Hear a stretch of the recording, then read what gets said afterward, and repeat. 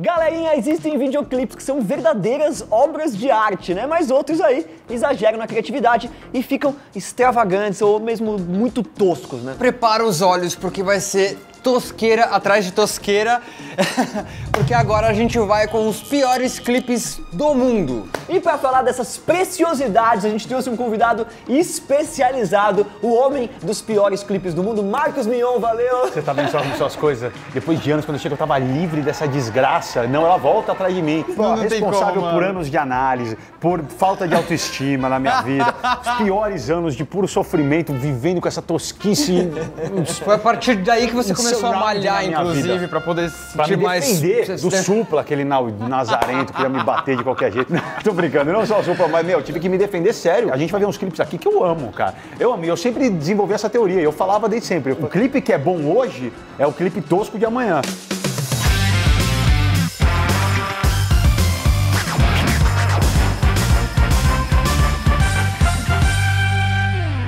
O clipe que a gente vai ver aqui sempre teve na minha lista, o primeiro aqui sempre teve na minha lista de piores também. Não precisamos nem justificar por que que a gente tá nessa situação aqui, ó. Mostra rapidinho o cenário verde. Voltou. É. História aí... da minha vida isso aqui. Isso aqui é, minha vida. Pra começar, a gente vai trazer um clássico da banda Kiss, a música Lick It Up, que tem aí um clipe bem, é, enfim, um gosto bastante peculiar pra nós. Bem diretor. peculiar. É um clipe lançado em 83, sendo que é o primeiro que o grupo aparece sem aquelas famosas Sim, maquiagens. eles estavam eles estavam indo mal na carreira e resolveram tirar a maquiagem como uma forma de conseguir chamar atenção e chamar atenção pela música e não pelos figurinos, etc, etc. Foi uma tentativa do Kiss de ser reconhecido pela música. Eles foram de fato, Sim, foi um eles, sucesso. eles tinham estavam fazendo pop, disco, não estavam pegando, É, pegando tinham- muito bem. né? Eles tinham ter feito aquele disco do I Was Made for Loving You. E aí a galera começou a falar que eles se perderam, porque eles viram de rock muito pesado para disco, não sei o quê. E aí eles vieram com o Lick It Up. Olha, olha essa chegada. A mina sai do bueiro. Meu tá pegando Deus. fogo ali na borracha. Por que, que essa mina tava fazendo dentro do que, que ela bueiro? tava fazendo dentro do bueiro? Com essa roupa. Por e o ela tá ali com a salsicha. Bom, enfim. Você viu, né? A marcação, né? Depois falavam da, ela tá da lavando calça do louça, Zezé. né? Lavando roupa. Falava da calça do Zezé, olha, do Olha ali, mano, tá? Calça E as estéreo. caveiras, as pessoas morreram e deixaram elas no chão. Foi a primeira vez que, o- que eles apareceram sem maquiagem. E olha o baterista, o Eric Carr, é o da ponta esquerda. Ele parece uma tia-avó, cara. Olha ali, ó. ó o da esquerdinha. Nossa, muito! É, mano, que dureza, né? E ele é muito pequeno, cara. Não, e o Gene Simmons, ele quer ser sexy, mas ele definitivamente é uma tia-avó. Olha lá. E ele, e ele tá achando que ele tá com a maquiagem ainda, né? É, pode crer. Ele tem uma coisa meio. João Mineiro e Marciano, tá ligado? O cabelo, mano. O cabelo é demais. Amarrou o poodle, né? Na época do pior eu falava isso. É um poodle amarrado na cabeça. Cara, o, o pior script era o YouTube antes Não do era YouTube verdade, você fazia a cara. mesma coisa que os youtubers faziam. Era isso aqui, ó. vindo com as Era o YouTube marcas, era na. Fundo, fundo verde, câmera ligada e um moleque improvisando, falando sobre o que quisesse. Só que aí eu me baseava muito em música também. E a história de como surgiu o Piores Clipes do Mundo é muito engraçada, porque eu não tinha ideia, na verdade, que eu poderia fazer isso.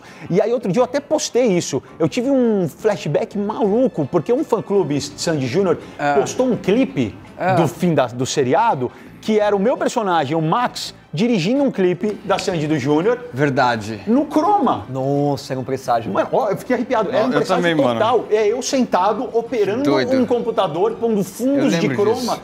pro Júnior e pra Sandy cantarem.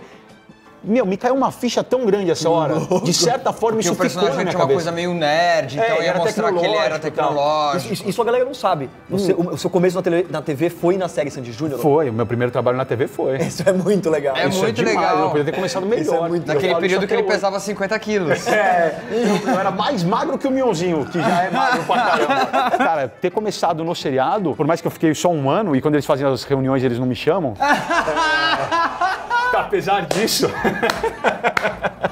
Você não fazia parte. quando tem as reuniões, tá sempre vejo assim, todo, todo mundo se segue no Instagram. Aí todo mundo posta, tamo aqui, e eu assim.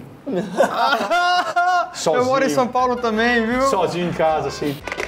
Agora a gente vai apresentar o clipe de I Wanna Love You Tender, que é da dupla Army e Danny, é, que na verdade parece uma mistura de Greasy com uma versão baixo, de baixo orçamento do Star Trek, Total, mano. boa, É- boa, boa re- re- resumo isso. Não é, cara? Ó, eles são os dois cantores mais eram, né, mais famosos da Finlândia e queriam atingir um público maior, por isso eles pegaram essa música do repertório e gravaram a versão em inglês. Então, a- se você- atingiram, né? atingiram o mundo Atingiram, inteiro. pô, Mas, até mas- eternizou. se você vê a letra, tem, tem erros gramaticais na letra, é tudo muito tosco da música. É meio isso. Pablo do Qual é a Música, parece que vai Meio fazer um- Pablo, meio bem Pablo. É o cruzamento do Pablo com o He-Man. né? Caramba, e o, e o medalhão? E a dancinha? E A o dancinha. fundo? Isso tudo, mas isso é, isso é o tipo da coisa que eu vivo pra isso. Eu gosto demais disso.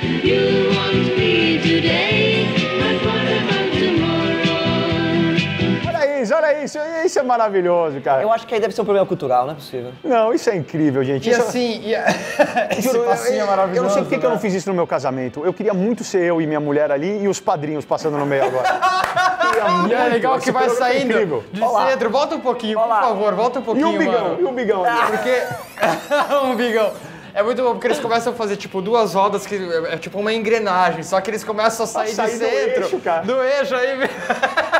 Pô, eu lembro de bandas como Skank, começou na MTV, cara. É, o próprio Jota, várias bandas No começaram começo da minha MTV. carreira, a gente fazia clipe pensando na Só na MTV. MTV. Tanto é que depois, quando a MTV começou a perder um pouco de força e tudo mais, começou, tipo, meio se questionar se valia a pena fazer clipe Investir, porque não é tinha dinheiro, né? passar. Caro pra caramba. É Você acha que eles caro. gastaram dinheiro pra fazer essa- esse clipe Com que a gente viu, certeza, cara? isso gastaram aí foi dinheiro uma real. grana. And if I could touch your hand, this rock would turn to sand. So this is where we stand. Ó, em 93, o grande astro do cinema, o Ed Murphy, que é um cara, se você não tá ligado, é tipo, ele foi por muito tempo o rei da Ele- comédia. Ele não é o Dr. Dolittle. Ele não, Não é. é o Dr. Dolittle, ele é muito mais do que isso. Ele se juntou ao rei do pop, o Michael Jackson, e assim, o que era pra ser um super encontro de titãs virou um vídeo digno de estar aqui na nossa Não, lista. virou uma obra de arte. É uma Isso obra é uma de arte. coisa inacreditável. Dá o play aí que vai- a gente precisa. Meu, isso é, isso é coisa que é- dá pra assistir. Ó, me explica hora do esse dia. começo, pelo amor de Deus. Ó, um palhaço pergunta do elefante, que fala que o elefante morreu. E aí o elefante tá em cima da tartaruga correndo e, cai o planeta. E vira um E coração. ele vira um coração. E do Ed Murphy, E de aí regata vem o Ed branca. Murphy Bem conceitual. em preto e branco num céu azul. Olha a cara dele, mano. É maravilhoso, cara. Isso faz parte do terceiro álbum do Ed Murphy. E ele é, chamou o Michael Jackson pra participar. isso foi depois da participação dele no clipe do Michael. Exatamente, no clipe Remember the Time. Ou seja, o Michael Que é já, um já fazia Remember the Time, É um tá ligado? Eles tentaram fazer também, ele falou, vou fazer minha versão do Remember Olha, the Time. ó, é, é muito Já é o Michael. Branco. Você tem que entender que não é uma coisa tão antiga. É o isso. verdade. super Michael Jackson já, assim. É, é verdade, é o E Michael como- Jackson Já, um- black or white, total. Isso, e aí como que ele fez o... Eu não entendo como que isso chegou a acontecer, entendeu? Tipo, Michael, você tem que Não participar sei. do meu clipe, vai ser um super clipe com É uma collab, Júnior. Eles eram brothers, falaram, me, me dá uma ajuda aí. Não, mano, mas não tá pra bombando. entender.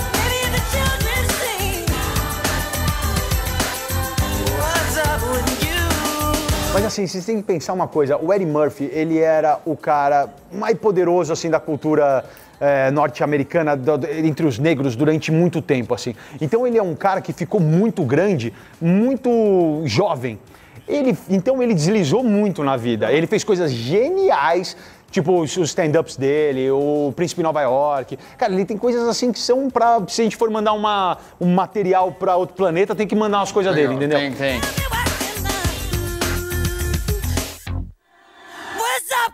Uma coisa que eu sempre questionava no Piores, assim, como é que o artista recebe a ideia e aprova? Porque o Ed Murphy aprovou tudo isso, né? Sim. E o Michael Jackson E o aceitou Michael participar. também. mas no Pode não ter roteiro- aprovado, mas aceitou participar. Aí, o que acontece? Imagina o diretor falando assim, a coragem do cara chegar, vamos fazer um clipe que você tá cantando num fundo de céu, com umas notas musicais, parece o Michael Jackson, e depois entram 30 crianças de uniforme de escola fazendo ciranda em volta de você. Se alguém me propôs um negócio desse, eu ia falar, não, não não, você quero fazer isso. Por quê? É, pô, quer acabar com a minha vida? Além de ser um deus nórdico, o personagem famoso dos cinemas, o Thor, também é nome de uma banda canadense Sim. Que toca heavy metal e faz clipes maravilhosos. Bons. Incríveis. Como, por exemplo, Anger. Obra de arte. Obra de A arte. banda é liderada pelo vocalista, pelo John Mickle, que além de cantor é bodybuilder, e inclusive já foi eleito Mr. USA pelos seus músculos. Também é um assunto que a gente pode tratar muito bem com o Mion. Como é que você fez pra, pra ficar daquele tamanho virado desse tamanho? Dá uma dica pra mim, porque eu não pego, pra mim não rola. mano. Primeira dica é que vai ser isso aqui, ó. Acabou. Aí acabou! Cara, vou te falar uma coisa. Eu, na verdade, eu comecei a, Eu mudei minha vida e comecei a viver de fato como um fisiculturista, que eu, eu vivo de fato como um fisiculturista, baseado na, por eu ter crescido admirando e assistindo muito Rock Balboa, Rambo. Eu, eu lembro, eu, moleque, com, sei lá, 12, 13 anos de idade, dentro do meu quarto, segurando o meu pé embaixo da porta do armário e fazendo abdominal, olhando um, um pôster do Rock 3. Ouvindo Eyes of the Tiger. Aí eu botava pra caramba. Botava muito, botava e, e- e suava, mano. E tinha aquelas barras na porta do quarto, que eu acho que hoje em dia não existe mais isso, né? Mas na nossa época todo mundo tinha aquela barra prateada na porta do quarto pra fazer barra. E eu, e eu era. E eu Mas você vai era... falar que você ficou monstro fazendo barra? Não, porque assim, eu nunca cresço. Aí vem um cara e fala isso, eu vou desistir da academia mesmo. Não, mano, isso eu tinha 12, 13 anos. Ah, bom, ah, e bom. aí eu cresci vendo, vendo o Stallone, vendo o Schwarzenegger. E aí quando eu tinha 33 anos. Ainda dá tempo. Já passou faz tempo,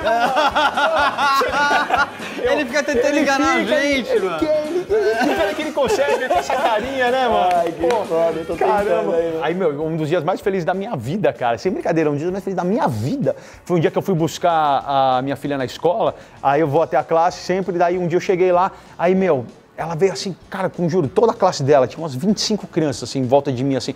Aí elas começaram assim: Tio Marcos, tio Marcos, mostra seu muque. ah, que demais! Aí, mano, eu. Ah, tá bom, criança. aí, meu, puxei assim, aí, meu, botei aqui, aí elas assim, ó. Ah! Aí começaram a apertar assim, ah! Aí eu fiquei, tipo, muito, ó, ó, molecada, tá vendo? É disso que é feito! o dia mais feliz Como minha um brócolis, como um brócolis. Eu fiquei muito realizado com as crianças assim, ó. Ó, começou o Thor aqui, hein? Começamos o Não, o clipe. que, que é isso, velho? Olha que sensacional, mano. Não, primeiro que esse clipe é, é- parece aquelas coisas que aqueles japoneses ficam jogando na Lan House e depois vomita e morre, né? fica, fica girando pra caramba, não é? Nossa, é verdade. E o cosplay fica bom dessa definição, né? Hoje em dia em HD nada fica bonito, você tem que gastar uma fortuna É pra fazer uma verdade, é roupa. verdade. É esse aí nessa definição aí, ó. Olha o. He-Man, cara. É verdade, Né? tá sensacional, Tudo pronto. DVA, isso Viu o aí. ó. efeito, viu o efeito dos quadradinhos entrando? Ó o Game of Thrones, ó. É, é, olha o quadradinho, olha o quadradinho. É, mano. That's my major quest. A moda rock and roll ela é muito questionável, né? Ela é muito louca. E você vê que aparentemente não é um chroma, eles pegaram as baixas ó, da imagem, tipo, tudo que é sombra e transformaram em. Neles, é. Neles, é, ó, a é. projeção, tá ligado? Pro- É, puxa vida, mano, isso é muito tosco, cara. É maravilhoso. Olha isso, quebraram as correntes, mano. Ó. Cara. Caraca. Você viu, ele, você viu ele derrubando a grade? É horrível, né? Você viu ele derrubando a grade? Vocês têm que pensar que a grade não tava presa, tá, gente? Ah, ele tava sim, só essa- segurando assim, ó. e aí ele soltou. Uma absurda facilidade. Bom, e pra encerrar, a gente agora vai pra essa. Cara, Esse é clássico, né? é, exatamente. É, é é- o charada brasileiro Supla e seu clássico O Green melhor, Hair. o melhor clipe da história. Nos anos 80, ele tinha uma banda chamada Tóquio, e que ele fez o sucesso com Garota de Berlim e tal. E ele era o Supla, com os cabelão e tal, não sei o quê. Ele era filho do Eduardo e da Marta tal. Os pais dele são super conhecidos. E ele fez um certo sucesso. Fez, fez, fez. E aí foi pra Nova York. Morou em Nova York e ninguém mais lembrava do Supla. Quando eu entrei na MTV em 99, 99, 2000, ninguém falava do Supla. sumida. Ninguém lembrava, ele tava morando lá e beleza, já fazia mais de 10 anos. Aí um dia a gente tava assim, aí chegou o Chuck, que era o diretor do Piores Clipes do Mundo, o Chuck também, que é músico pra caramba, tem banda, tudo, eh, toca muito, chegou pra mim e falou assim, ô Marcos, ele é de Pirassununga, né? Falou, Marcos, vem aqui, vem aqui. Eu falei, ah. ele enfiou assim a fitona, assim, fitona, né? Enfiou assim, enquanto a fita entrava, ele olhou pra mim e falou assim, você lembra de Supla? Aí eu olhei e falei, nossa, cara, acho que lembro. Aí entrou Green Hair, entrou esse clipe. Esse clipe. Esse exato. Aí a gente falou, come- aí, começa aí ele trocando ideia com os caras em Nova York. Aí eu falei, meu, isso é uma obra de arte. olha esse fundo, olha, essa Olha mina. isso. Maravilhoso. Ele falou que ele gra- gravou na casa de um traficante em Nova York. Será que é verdade essa Eu não tenho, eu não duvido, eu não duvido, eu não duvido. She had shaved head, shaved pussy, shaved head. She had shaved. Porque o Supla, David Bowie, ó lá. Não, é, é bizarro. E daí, a partir desse dia, esse clipe, falei isso, ele foi considerado por nós o melhor barra pior clipe da história. Tanto que no VMB ele ganhou o prêmio de o pior clipe do, da vida, do mundo, da- de todos os tempos. Esse é. clipe? E o Supla foi receber, foi legal pra caramba. Vamos ver quem ganhou aqui. Não é pamonha, não. O vencedor é o Supla, meu. Com green hair. Papito. Ele tava morando em Nova York, o clipe é todo feito em Nova York. Aí, de repente, começaram a ligar pra ele, mandar umas mensagens falando assim, cara, tem um moleque aqui no Brasil que tá te zoando muito, mano. Na MTV brasileiro, o cara tá tipo de descasca toda semana, ele tira mó é engraçado pra caramba, tá todo mundo falando de você. Aí ele até conta isso no DVD dele, ele fez um DVD, ele conta isso, aí ele falou assim, pô, Daí eu fui ver qual que era desse playboy brasileiro que tava falando de mim e tal. E pegou o avião e veio pro Brasil pra ver porque que tava todo mundo falando. né? Na, naquela época a gente não dava pra entrar no YouTube ver, não tinha internet. Você tinha que ir até o lugar pra ver o que tava acontecendo. Veio, chegou. E aí chegou um dia e falou assim, meu, quem é que tá falando de mim aí? Quem que é esse playboyzinho aí, esse moleque que eu vou quebrar a cara e tal, não sei o quê. Falando dos meus clipes, não sei o quê. Mas ele, como é um cara que tem uma cultura americana, ele, ele conseguiu, antes de qualquer um, perceber Sacar o que, que o o- Piores era e como poderia ser a alavanca pra ele. Positivo pra ele. na Totalmente positiva. E aí ele, ele abraçou o Piores Clipes do mundo, com o personagem de ser bravo com, comigo e com, com Piores, e começou de. a- Mas na verdade até eu tinha dúvida. Eu achava mesmo que ele, ele não gostava de mim, que a qualquer momento ele ia me dar um soco na cara. te- te eu socar. imaginava constantemente que ele ia me dar um soco na cara, toda vez que ele tava perto de mim. Tanto que ele sempre tava perto de mim, ele fazia uns negócios meio assim, ó. Ah, ele inteiro falando, eu vou tomar uma, eu tenho certeza que eu vou tomar uma. Você acha que eu quebro esse cara aqui? Aqui tem coragem. O Meuzinho foi o quê? Foi uma, uma ideia de você passar adiante seu legado e. O meuzinho foi o seguinte, a MTV, cara, ele- eles me encomendavam um programa por ano. Todo ano eu tinha que fazer um programa novo. E aí um dia eles tinham um universo de bandas cover, era muito forte a cena de banda cover, ainda é, né? Mas hoje é mais nichado, na época era muito, porque as bandas não vinham muito pra cá, então as bandas covers faziam grandes shows aqui. Aí eu sentei com a equipe, a gente começou a criar e criamos o Cover Nation, que é outro grande clássico Que da MTV. E aí no- na criação eu falei, cara, já que é pra ser cover, eu quero ser um cover de todos os programas, eu quero copiar todos os apresentadores, eu vou usar frases de todos, é, eu quero que os jurados, que a gente já tinha pensado em fazer uma competição de bandas, eu falei, eu quero que os jurados sejam covers, eu quero que a plateia inteira, o máximo de cover quiser vir, vem. E eu quero um cover meu. Como assim? É, bota um cara no palco lá andando parecido comigo, vestido igual eu tal, não sei o quê. E aí, cara, é, eu lancei isso e tirei da minha cabeça. Aí um dia eu, eu tava sentado assim na produção do Quinto Andar da MTV, que lá era tudo junto no Quinto Andar, ficava todo mundo lá. É, você lembra? Todo mundo lá, todas as produções, todos os artistas, todo mundo ficava na porra do Quinto Andar. Aí eu tava sentado de costas pra porta. Meu, todo mundo tava na minha frente, começou a rir. Aí quando eu olhei pra trás, tava o Mionzinho parado na porta assim, com aquela cara dele assim. A gente tenta ser humilde, a gente tenta, né, meuzinho? A gente tenta ser humilde, a gente tenta ficar longe do- dos flash, mas artista é diferente, cara. A gente sangra diferente. Nosso sangue, ele é verdinho, fosforescente. olhando assim. Aí quando eu olhei assim, falei, nossa, cara. eu mesmo falei, nossa. Aí, aí a menina levantou, é ele que eu tava falando, o Vitor. Todo mundo chama ele de Mionzinho, que era da faculdade dela. Que ela tinha chamado pra ir lá pra, pra ver se rolava. E na época, como eu era mais magro, a gente era muito parecido, cara. Eu era magrelo como ele, cara. Então a gente vestia a mesma roupa e eu ensaiei muito com ele os movimentos. E a gente tinha uns códigos. Eu falava, pô, toda vez que eu botar o dedo pra cá, eu vou estar fazendo assim com a boca, pra gente ficar bem igualzinho mesmo. E a gente tinha várias marcações pra ficar uma, essa mágica que as pessoas veem. E até hoje sabe que o meuzinho tá sempre do meu lado fazendo tudo um pouquinho pior, né? Uma roupinha Isso, um pouquinho é uma- pior, uma- né, mais magrinho, uma mímicazinha uma- uma- ali Uma do- versãozinha 25 de março, assim, minha. Assim. E a gente criou isso no, no Cover Nation, cara. E aí a gente ficou mais de 12 anos juntos, eu e o meuzinho, cara. Ó, o meuzinho correndo lá atrás, que tipo de rebelião é essa? Todo mundo começa a quebrar as coisas e ele corre de um lado pro outro sem fazer muita coisa, né? Ó, é o seguinte, se tiver faltado algum clipe que a gente. Bom, com certeza Ah, fal- faltou. todo faltou mundo tem muitos, lista um gigante. milhão de clipes. Mas assim, ó, vão escrevendo aí os que vocês lembrarem, a galera vai curtindo os que acharem que realmente tinham que estar. E aí, quem sabe uma hora a gente faz mais aqui, certo? Exatamente. Vai lá no Spotify que a gente deixa uma playlist com os clipes que a gente falou aqui, porque os clipes são toscos, mas as músicas, muitas delas são, São muito legais. boas, né? Será? Meu, obrigado por ter vindo, cara. Foi muito Valeu, legal. mano, velho. Foi hora, demais, mano. cara. Ó, e quem, quem ouviu as histórias todas aqui da gente falando e quiser ver as análises de clipes, porque pro- no meu canal, que tem análise de clipe da Anitta, tem Shakira, tá, a galera de hoje em dia. Simone Simaria, né? Pô, tem Kevinho, tem clipe pra caramba que eu faço as análises lá no é, youtube.com/barra Marcos Tá Mion. aqui, tá aqui. Valeu, galera. Tamo Não, junto. Mion, muito legal. Eu assistia você desde quando eu nasci, cara. cara não paga, então valeu, Mion, obrigado. Valeu, Brunão, foi demais. Junito, junto sempre, mano. Foi muito bom fazer, cara, adorei. Valeu, é isso aí, tia. Solta o controle e vem pro YouTube.